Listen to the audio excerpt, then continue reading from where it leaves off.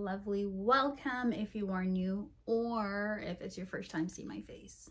Hey, I was pondering on something today and it was a video that I'd previously watched and it was about this lady. She was talking about church and she was giving her testimony about how she gave to her home church she was constantly given even when, when she wasn't attending church she was given her 10% and things just went sour and she didn't receive any help from anyone from that said church. And you know when she went to ask it was as if she was a beggar or a vagabond. And it was it was horrible. And i could relate so much to that.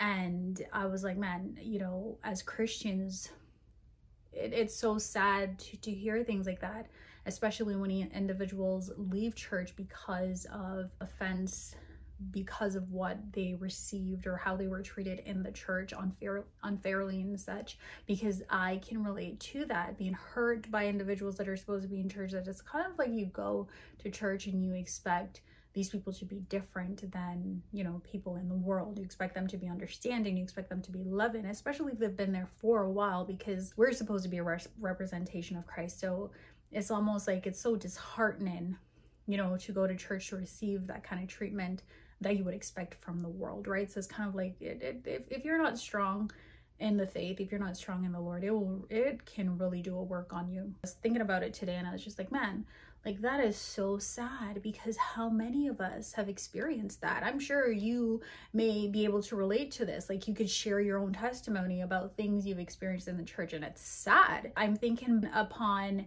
the apostles and how they modeled Christ and how they were as a, a church, what a church, the true definition of what a church is to be, and how, you know, they gathered together and whoever were farmers, whatever it is they had, they would bring that in to the congregation, to Paul and all the apostles, and they would distribute it to the poor, the widow, eh, you know, the orphans, and just people that were in need. So no one would be in need, right? Because it was just that constant, whatever I have, I'm going to give, and no one was left empty handed. And that's how we're to embody Christ today. But sadly, a lot of times we don't find that. Not saying that it's not there, not saying it's not possible, but I'm just speaking from a place of where I had been. And had it not been for the grace of God, then I would just think that, you know, all churches are like this. All Christians are like that, where they don't really embody the gospel. They don't really practice what they preach, per se, right? Like, are we turning people away from Christ? This picture came to my mind.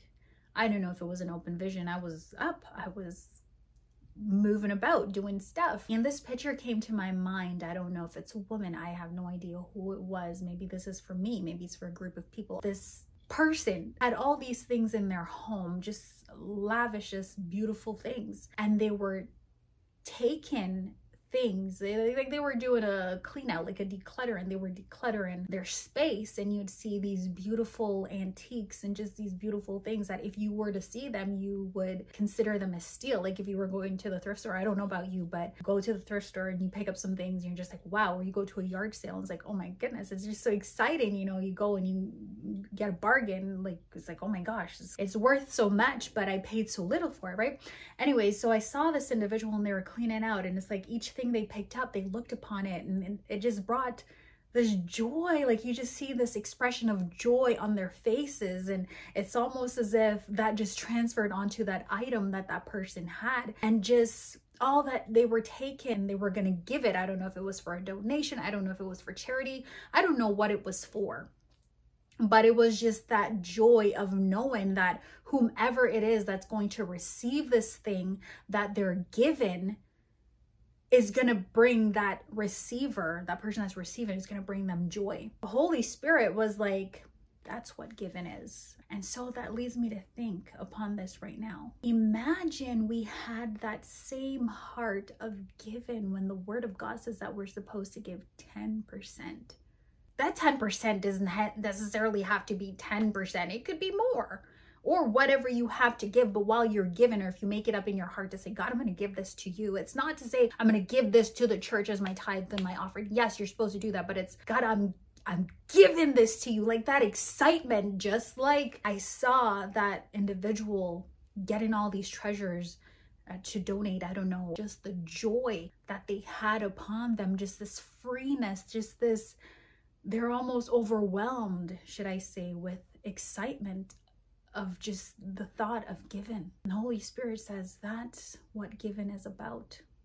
Yes, you may be hurt, or you may, as I'm even sharing this, you may be thinking, why does it even matter if I give? You may be so broken. The enemy has had you so broken where you're thinking back upon places that you've been, churches that you've gone to with the hopes of being accepted by someone, being accepted by people in the church, and they've let you down. And now here you are, just I, I don't want to have anything to do with church. I don't want to have anything to do with the so-called people in the church. I think I touched upon something like this before. I don't, I'm not sure. But honestly, God had to heal me in this area, and that's why I'm sharing it right now. We go through things in life, and one of two things can happen, I think.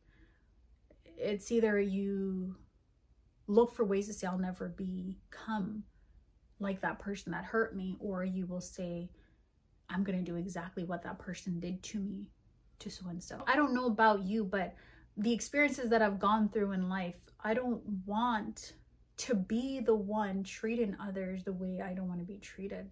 Yes, what you went through wasn't great. That experience wasn't great. Maybe he allowed for it to happen to teach you something as I matured a bit, I was like, why did God allow me to go through that? And it's almost as if, you know, God had to show me that, no, I didn't let you go through it for nothing. It was for a reason. You know, everything that God allows us to go through, it's for a reason. And sometimes I think it's us that get ourselves in situations, but then that's a different circumstance. I'm not talking about that. There are times that we go through things, but there's also times that you were wrongly placed into a situation you were mistreated. Sadly, right? But God wants you to know that there's something to learn from that. Grow from it is what God wants. He wants you to grow from that situation so that way he can use you to help others that may be going through similar circumstances. As he says that he allows all things to work together for our good. That's where I'm picturing a lot of us going moving forward, you know, as we mature. God wants for a lot of us that have been hurt, that had expectations in others, that same expectation that we had in others, God wants for us to have that expectation in Him. And so I believe the season is coming now where God is turning our hearts toward Him. If you're not there, maybe this, that's why I said I'm not sure who this message is for. But if you've been hurt because you gave in hopes that as you give to the mission of Christ, you gave and you were expecting that you know the church could be a place of solace. And it so happened that that wasn't the case for you. I believe in this season god is turning a lot of individuals. Their heart have been hurt and calloused for a minute toward the people of god. Not necessarily toward the people of god well I, I guess but toward the church and it's like you're seeing god stripping away that hurt and drawing you back to a place where you can say, I'm going to go back to church, but not going back to church because you're looking to people. No, you're going back to church because you're returning to a place of worship. While you were hurt, God allowed for you to heal. God allowed for his spirit to be so richly within you for you to grow from that hurt, to grow past that hurt. So you know now that when I go to church, it's not to expect so and so to notice me, but it's to go and to be a part of the body of Christ because we're each there to serve a purpose. Now, as you give, you're saying, God, I'm given with a cheerful heart. I'm I'm given with joy to know that I'm given to your work and it's to give so that the lights can stay on. It's given so that, you know, to send others out a mission to tell people about the gospel. It's not to say, oh, yeah, I'm given so that way when I come to the church in expectation, I'm going to get. No, you're not going to church with the expectation of receiving anything, but to be fed, be edified. That's what you're expecting because in your season of hurt, God has taught you how to draw to him, to cry out to him, to to say, God, this is my last five dollars, and I'm trusting you, oh God, that you will help me. And even if you don't allow this five dollars to stretch the way I want it to stretch, I'm still gonna have faith in you that you will do exceedingly abundantly far above than I could ever ask, hope, or imagine. Not to say that you're expecting financial gain or financial riches. This is not about prosperity. This is about knowing that when you give, that God will provide, knowing that you are adhering to God's command,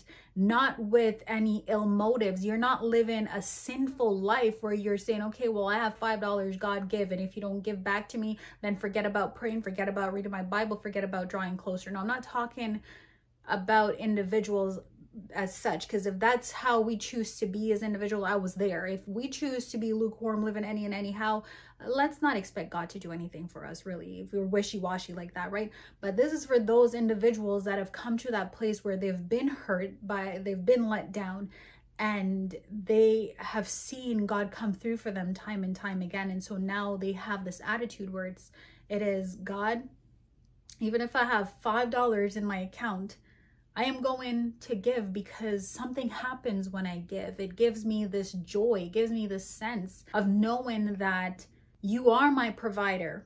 It gives me the strength to know that you are my peace.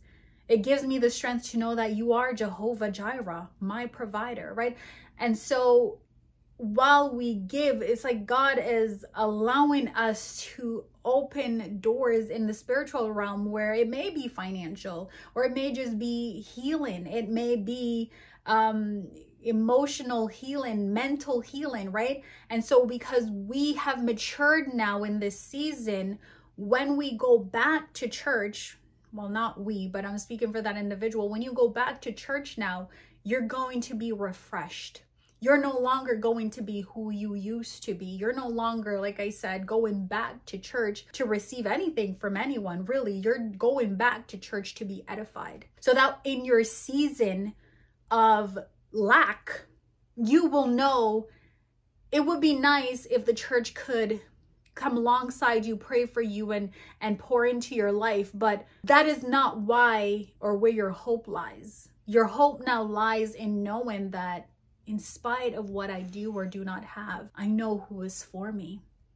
I know God is with me and I know He's for me. So I no longer give. You no longer give expecting anything in return. You give because you know that God is giving you that spirit of joy, that spirit of happiness, that spirit of hope. And so that's why I said I saw this picture, this image of an individual just given out of their abundance, like decluttering and just the joy overflowing. So may this video comes to you as an encouragement to let you know that maybe this doesn't even have to do with um tithing maybe this just genuinely has to do with the fact that god has given his children joy god has given his children a sense of peace to know um you know the word of god says that peace I leave, not as the world gives, but as the Father gives. So I give to you. Not to say that things are not going to happen, but just to know that you have that assurance, that peace that you have within God that surpasseth all human understanding, so that you can guard your heart and mind through Christ Jesus. Give you that peace to say, regardless of the situation or the circumstances that you are faced, God's got you. God wants the best for you. He hasn't forgotten you. Be encouraged. God bless you, and God willing, you'll stop by for my next video. Until then, take care.